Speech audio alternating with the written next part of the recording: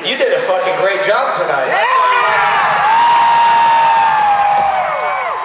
He won a competition at DC 101 to come on stage and play guitar. That was pretty cool. I'll tell you what, I grew up for a little while in the DC metropolitan area. So now you know I'm just as twisted and strange as all the rest of you people. Right? Grew up listening to this station, and I'm really, really happy that they came and did this with us. Uh, really, really appreciative of DC 101. So thank you guys so much. Are you having fun yet? You guys want another song? What about a song called The Kill?